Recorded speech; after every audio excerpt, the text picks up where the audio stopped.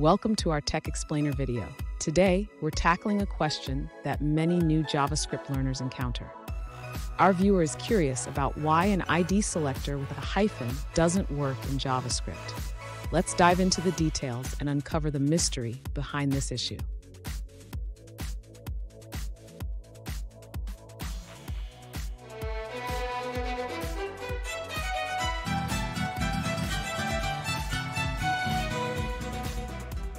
Welcome back to another technical video. Today, we'll be going through your question, answering it, and hopefully finding that solution you need. Guys, remember to stay just a little bit crazy, just like me, and work through to that resolution. Now, let's get started. Let's start by understanding the issue with using a hyphen in an ID selector in JavaScript. In JavaScript, when you use a hyphen in an ID, it creates a problem because hyphens are interpreted as subtraction operators.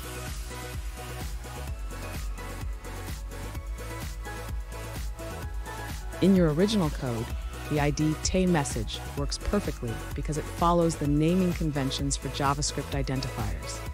However, when you change it to TaMessage, JavaScript cannot interpret it correctly.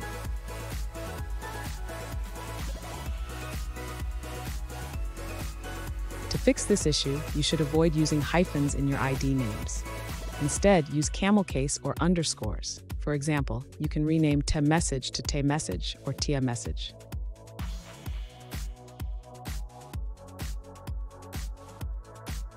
Now, let's look at the corrected HTML code. Make sure to update the ID in both the text area and the JavaScript function calls.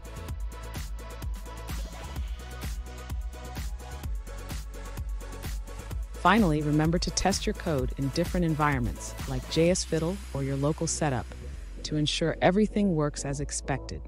This will help you catch any issues early.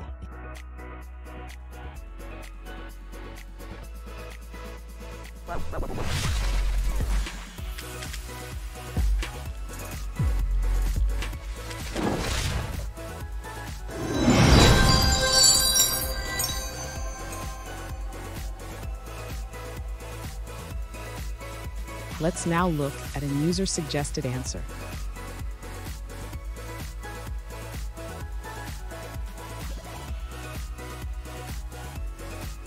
When using an ID selector with a hyphen in JavaScript, the this keyword can be very helpful.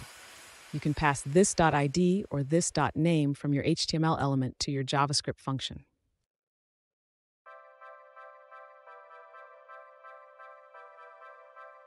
This simple trick can make your code work effectively, even with IDs that contain hyphens.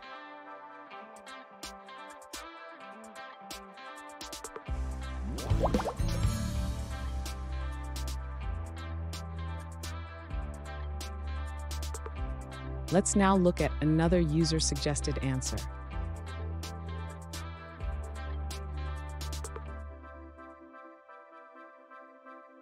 Using a hyphen in an element's ID or name can cause issues in JavaScript.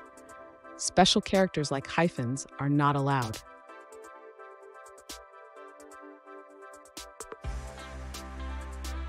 You can use this in your function to get the current text box.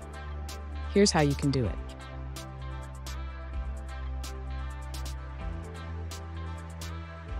Alternatively, you can pass the ID as a string to your function.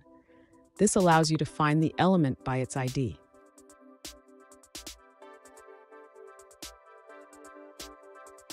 And that's it, guys. I hope the videos helped find that resolution that you're looking for. And if it did, please hit subscribe.